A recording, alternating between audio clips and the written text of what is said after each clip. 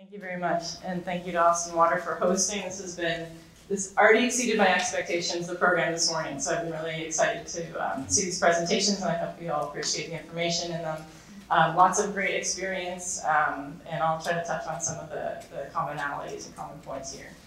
Um, my background is in wastewater engineering, so that's um, sort of the lens I'll speak to today. I will try not to get too jargony or talk in too much technical detail. Um, the focus here is um, a, a, bit of a national perspective, but also an owner's perspective, right? So you all are trying to develop properties, develop buildings, and you want to understand how water might impact that development, and particularly this um, sort of newish concept, at least in these um, urban contexts for on-site water reuse. Um, so I'll get a bit into the business case for that as well. Um, so food for thought, just some, some thoughts to ponder as I go through the presentation. Um, on-site non-potable water systems can be a transformative opportunity. I'm so excited to see it in Austin's Water Forward program. I've been uh, lucky to participate um, over my last four years at Sherwood and the, very closely in San Francisco's non-potable ordinance. Was actually involved in some research that I'll show you at the end that went into some of the, um, the risk-based framework that you've heard talked about today. And before the non-potable ordinance became mandatory in San Francisco, um, that framework is now uh, code required, It's now going to become code in the state of California.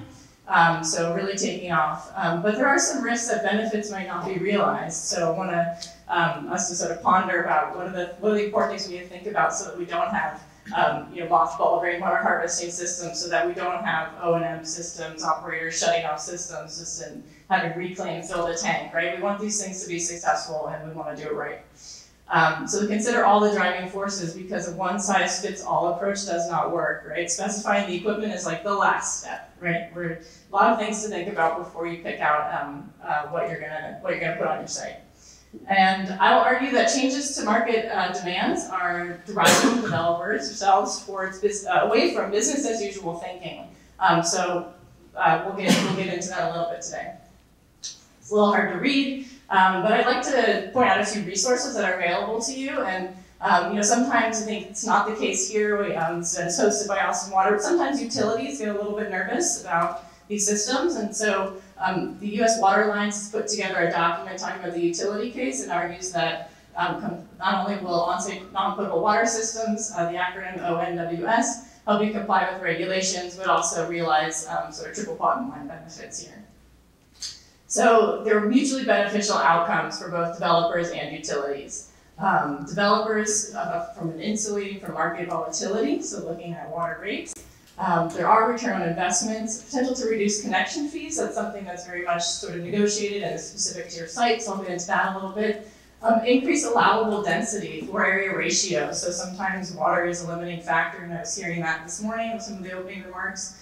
Um, so we'll talk about uh, that a little bit. Um, demystifying the entitlements process for water. So sometimes um, early on in development, it makes sense to start thinking about these systems early on and understand your permitting process. So uh, one of the lessons learned from the previous project, engage TCEQ early and often, right? So um, getting that, that team together early, including the regulators. And, and then all of these benefits that can be realized from the utilities whose uh, mandate is to provide reliable sources of, of water for various purposes. And so um, these systems are, are additive. They're in a way redundant to the existing infrastructure and can provide flexibility and resilience to that infrastructure. Um, can be seen as a second line of defense and can contribute to a um, diversifying water supply, localizing water supply, a really important theme right now in our industry. And it can help to meet wastewater treatment needs. In some cases, we have treatment plants that were built in the late 70s, 80s, when Clean Water Act um, um, compliance was starting to be implemented. Uh, those plants are reaching end of useful life, a lot of upgrades needed, a lot of constraints on space, development encroachment around those plants. Um, so, so meeting wastewater treatment um, uh, demand requirements or, or capacity requirements um, can be a really big driver for some utilities. Um, and then the potential to defer those capital intensive projects. So all these upgrades I mentioned um, are, are, are, hitting home and we're starting to see water and sewer rates really skyrocket nationwide. So something to think about, I'd like to point out uh, the book by David Sedlak, a professor out at Berkeley, Water 4.0. It's a great book written in layman's terms, and it's about the sort of fourth water revolution we're going through right now. So I don't want to you know, underestimate the, um, So sort of the, the change that's that we're undergoing in our water infrastructure. And I, um, I didn't have the book with me last night, but I wanted to pull a quote. So this, this Amazon reviewer said it all for me. Um, and again, just pointing out the sort of triple bottom line benefits here. Um, so project delivery considerations will be my first topic. Um, I'll, again, uh, as promised, try not to spend too long on the technical jargon, but I'll go quickly through water balance and water characterization. Um, and um, then we'll spend some time on the uh, business case studies. Um, I'll go through a few uh, recent design solutions. There's been some great uh, presentations today on um, implementation, so I'm not going to speak too much to the actual sort of implementation of projects. I'll be more at the higher level, planning level, but happy to answer questions on that end. And um, some, some closing remarks. So um, might be hard to read, but, but this is just to say, um, you know, here's four examples of a system. I mentioned that not all systems are, not, there's no one size fits all solution. So if you had a residential building, um, you know, maybe you want to consider a gray water system because there's so much of it, right, from showers and sinks and laundry washing. Um, so it might be worth sort of separating it out as costs a bit more to install that dual drain plumbing system, um, but then you have um, some, some sort of water that's a little bit easier to treat, and you can send that to landscape. Maybe that's a good fit for your site. You have a commercial building, maybe you have um, rainwater and stormwater that um, you, you know, need to comply with some stormwater regulations, water quality regulations, and um, a great way to do that is to also have a reuse system for meeting cooling tower makeup. Um, maybe you have a, a sort of site-based system where you want to just um, take your gray water and your black water, combine it as wastewater, and um, treat that for the sort of the, the, the, big three, irrigation, toilet flush, and cooling, which um, often are the three uh, uses that we're looking to offset.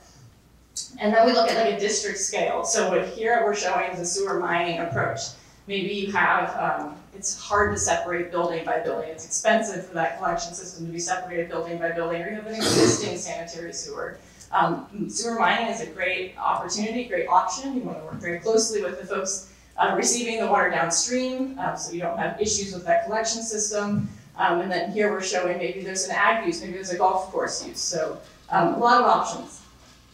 Um, can't, um, or I'd like to, I guess, just touch on location and scale. They are very important for choosing your system. So if you have a site that, say, is very far away from the existing wastewater treatment plant, there isn't any municipal reclaimed water, and it would be very expensive to send it all the way to that plant and send it all the way back. That's a great site for on-site reuse. Um, uh, and then scale is also very important. So when you get to a certain flow, it starts to um, sort of have more economies of scale in terms of the size of the system. So um, uh, very important, and uh, you can see some of the energy trade-offs there for a centralized versus on-site system. And I'll just point out, I, I, like to use this terminology, you know, maybe not quite standardized in the, in the industry, but in urban systems, I like to call them satellites, right? They're, they're, they're very connected, whereas a more remote system where a lot of the, I would say the technical knowledge of our field is sort of built in these remote systems um, that are not very connected, and I like to call those decentralized. So, um, but it, water infrastructure is spatially sensitive, uh, more so than say energy, which um, isn't as physical, let's say, as water. So um, some comparisons there. And this is just a diagram showing you some of the ways in which um, reuse can, uh, can take place from a location and scale standpoint. And then ownership typology. So um, you know, you really want to set yourself up for success when it comes to project delivery. Um, and think about what level of sort of risk and responsibility you want to take on as an owner. And so it's a sort of owner risk wheel I've developed here is looking at, you know, the conventional delivery, design, bid, build. Um, we've heard a lot today about design build or even um, like uh, um, installation uh, and design or, redesign happening during the installation process. So um, design bid build, excuse me, bid build does put some um, pressure on the owner to um, uh, sort of bear the risk of, of, of that, that design. So um, some shared risk might be in a design build approach, um, and even uh, more shared risk in a design build um, uh, operate or design build own, sort of interchangeable there. And then the design build finance own, um, which we see at usually larger scale, let's say, you know, 100,000 gallons a day, give or take. Um, you really see the, um, there's, a, there's a market there for folks that will finance these systems. I did go through a project recently where we did a whole RFP for a, a finance system. At the end of the day, um, that the cost for that financing, for passing that financing on to the tenants, was not something that the developer thought would be viable. So they decided to go back to just a design build approach. So something to consider is that when you're financing the system, that, that financing is, there's a, there's a cost to that money. So um, thinking about how your whole pro forma fits together in terms of how you're going to uh, fund, fund your water reuse system. Okay, quickly I will touch on water balance. We'll do this sort of three-step approach, um, um, maybe not in any particular order. But um, so water balance is just looking at the, the water resources on your site. So you might see some green building standards, this is taken from the Living Futures framework. Um, a water balance can really just be done from a natural system standpoint, right? We get rain, we, you know, runs off, there's infiltration, there's groundwater. There is a natural hydrologic cycle that should be taken into consideration for any given site. Um, often for urban properties, we're talking more about, you know, water supply and wastewater management. And so you get very quickly into more, much more complex water balance analysis where you're looking at seasonal changes in demands, you know, how are we going to um, meet rigorous sustainability goals. This particular diagram was from a project that will be uh, net zero water by exporting recycled water to an adjacent site. Um, so that's um, a very ambitious goal. We see that sort of terminology popping up in, in these green building standards more and more. You know, you may just look at an annual water balance. But simple, let's, let's see what our supplies are, see what our demands are, and in this particular case, we, we made up some, some supply gap to get to that net zero by, um, by mining some, some water from a site, uh, sanitary sewer that came through the site. So being opportunistic here in the water balance standpoint.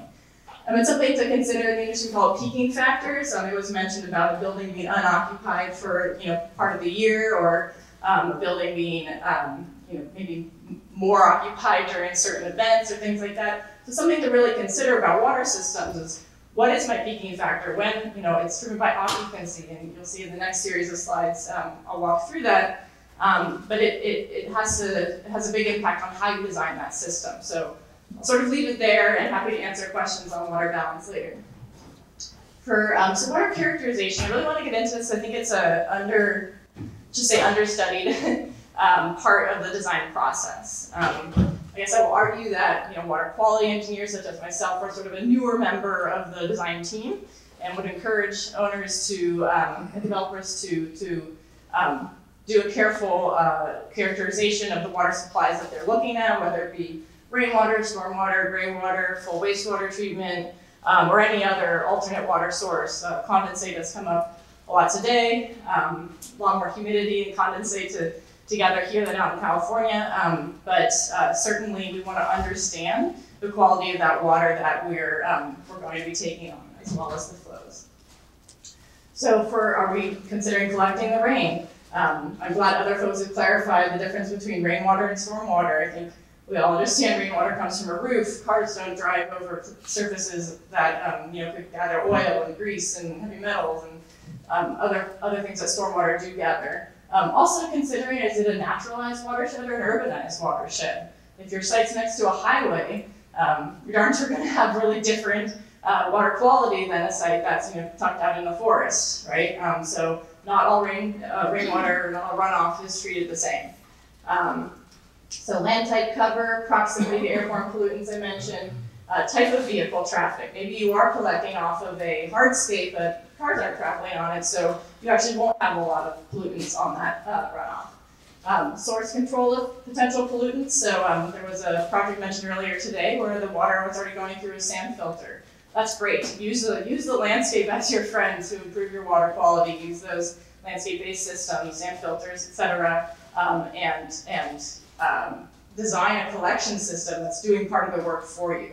Um, so again, getting to the equipment specification is sort of the last part. The collection system is really um, where some of the magic happens. Um, and then just remember that these are event-driven systems when you're capturing rainwater and stormwater. Um, much more so um, in California, where the rain is less frequent. Um, but you know, here the systems are going to go off and on very frequently, which is a lot different than, than let's say a wastewater treatment system. So keep in mind that um, that there are some maintenance activities maybe related to the uh, event-driven nature of, of rainwater and stormwater reuse. Um, so I, taking the waste out of water, I have to give credit to um, one of the utilities out in California, Sacramento um, Sanitation, who came up with this term, or I saw it recently, but I think it's a great way to think about um, sort of what we're going through now in terms of how we think about and, and manage our water resources. So um, some, some quick considerations. On the right is sort of your, your cheat sheet. If you know nothing about wastewater, but you kind of say, yeah, there's solids, organics, and pathogens, people will go like, oh, yeah, okay, you know a lot about wastewater. So um, I borrowed these from SFPUC, has done a lot of great work just in um, sort of messaging around their program. Um, so, so, so program, what, what type of activities are happening on your site? That's very important. Um, if you have kitchens, uh, that wastewater is going to be very different than a site that is, uh, you know, just office. So uh, keep in mind that those activities matter. Occupancy, so how many people, when are they there? Um, how, how long are they there every day? Um, are there times where there's not a lot of people there? Um, and, and I just call it dilution volume. So what kind of fixtures are you using? What are the flows for those fixtures? Um, all that water that you're using is really just diluting the other stuff in it, the solids, the organics, the pathogens. So it's, um, you can kind of think about it as, as a dilution volume. Do you have gray water? Do you have showers or not? Um, and um, what I'll get into later is that the load kind of stays the same. How much water are you diluting it with? Um, timing. When will the highest flows occur? The lowest flows? So these are all parts of the design that need to be considered. Um, and maybe at, like in a hospital, for example, you have special considerations around hazardous waste. Um, so flows, loads, equalization will come into play with those peaking factors. Water quality, what water quality do I need? And are there discharges, um, which will take, play a big part um, in, in your permit. So program is really uh, the flows and the loads. And uh, I won't bore with this, this is just to say that in a project that I did, um, nitrogen was a big driving constituent, and um, we, we went through and we characterized that nitrogen content for each restroom type. This was a rest area project for the transportation department out in California, Caltrans. So, um, you know, really um, important to identify what constituents are important for your site. And this is uh, just a fun uh, sort of bubble diagram showing some of the activities that were happening in this um, in, in, in, this particular building. Um, and my favorite statement, unfortunately, bedrooms do not generate wastewater, people do, right? So if you think about some of the ways in which water um, unit water demands are, are allocated by square foot or by hotel room, right? Doesn't really work when you're trying to understand wastewater quality. It's, it's the people, it's the users, it's the occupants that are going to determine that. But I do want to point out it's not, you know, all this consideration is not totally new, right? This is actually a mechanical uh, daily schedule, hourly schedule showing when there's going to be the most lighting, the most equipment is going to be used, the most people. We can kind of take that curve and use it to understand how much water is going to be used, when it's going to occur. So um, building off of some of the design work that's already being done rather than creating a whole new field. And this is just to point out that in uh, Cal Green had very, very low, very aggressive water fixture standards. Um, and a standard textbook will tell you this is how much wastewater per capita. So um, you can't really rely on the standard resources either. You really have to do the work, understand what's going to be um, happening in your building. So a potential unit demand factor of four times textbook compared to current code. Um, textbook has to catch up, I guess. Um, but you can pack a lot of more program in, um, and textbooks are still high in terms of unit flows. So um, and then unit load, so um, this is particular organic load. I mentioned this solids, organics, pathogens. This is that organic load, and um, that differs based on whatever standard you're looking at. So um, you want to be considerate, um, but at the end of the day, you can sort of build up this you know model for uh, wastewater. You say, okay, I've got full-time equivalents. They're using this much water each. They're producing they're on site this long, and they're producing this much load, and then I get my water quality characterization. So Pretty simple process, but um, really want to make sure you go through it. So we've done that a few times, and for each of these constituents, we found that we were, uh, you know, it's a small data set, but we found that we were actually um, pretty on target. But um, for the wastewater aficionados in the room, uh, uh, organic load above 700 is really high. so uh, understanding that these systems don't have the kind of dilution necessarily that a typical wastewater treatment plant might experience.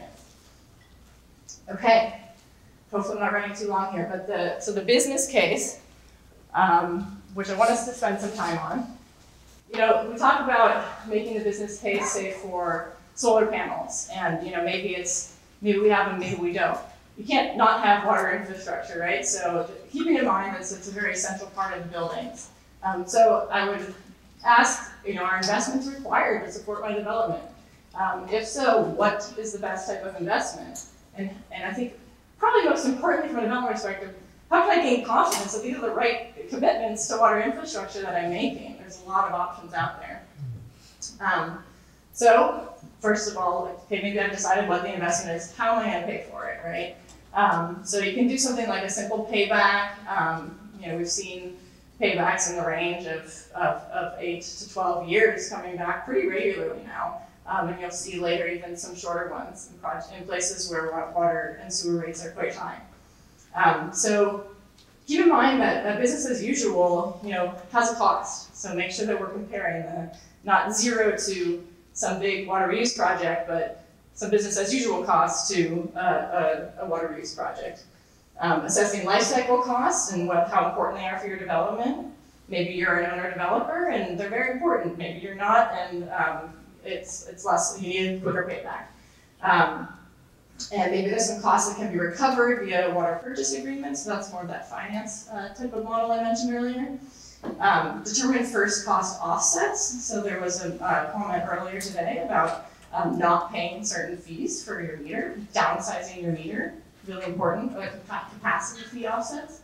Articulating the less tangible benefits. Is there a community benefit that will help you get your project approved as this project that a water use system provides? Um, and review those review those rates.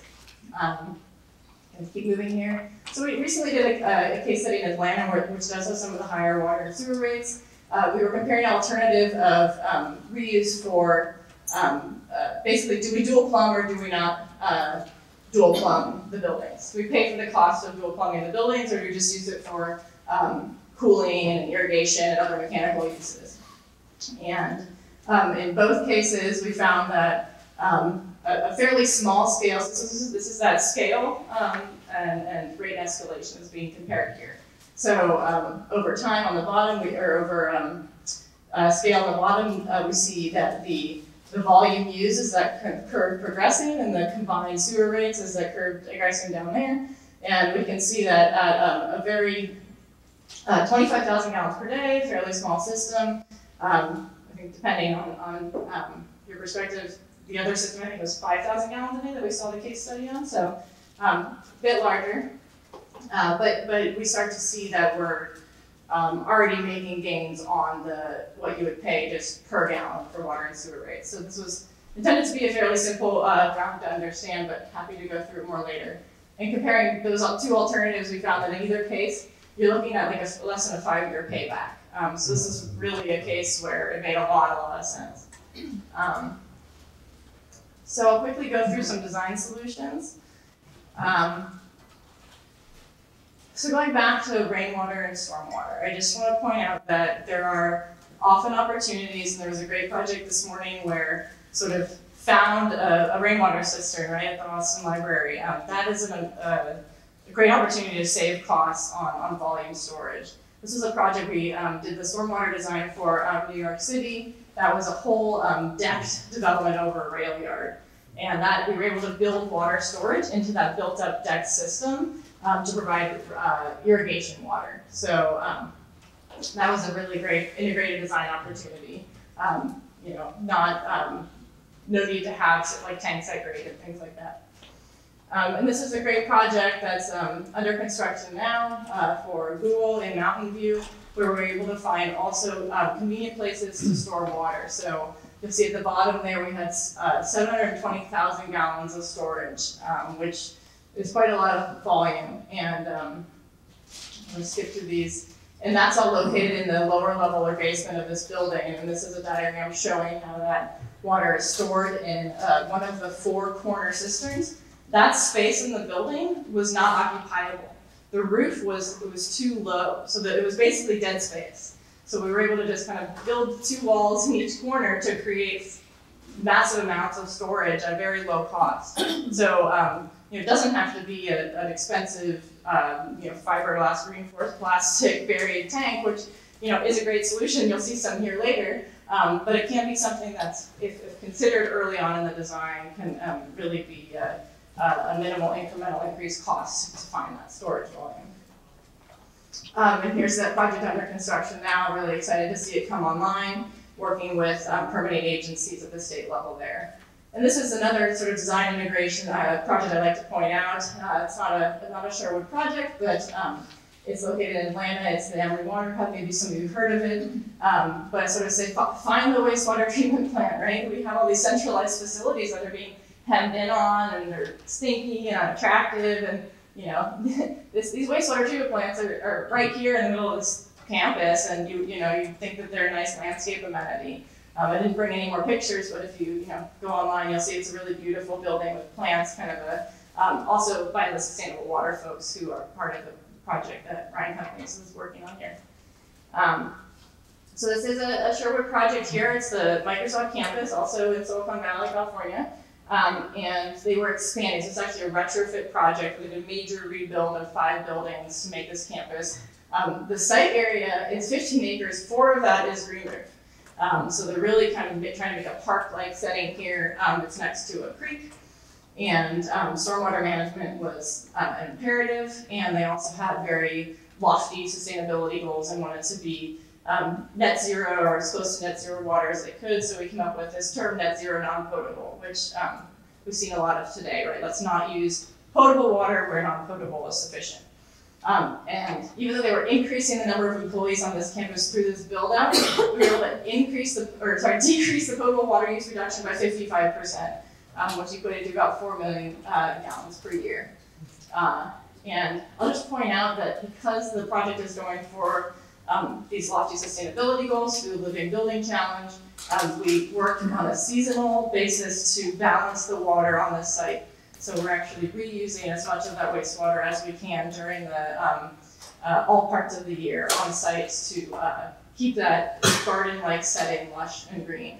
So I'll just flip through quickly here, some from a recent site visit. The system will be installed, there's some tanks will be installed along the garage there. You see the pours going in and, and uh, the concrete pours, and then um, some of the spaces where it'll be, uh, the system will be located in the garage. These are the, the storage tanks that help balance those flows year to year. This is a popular water use system from a vendor in Oregon called Orenco, and it's a um, very robust system, does a great job at um, functioning when there's variable loads. So these guys have been around for a while, and um, we'll be using some of their Advantex units on site.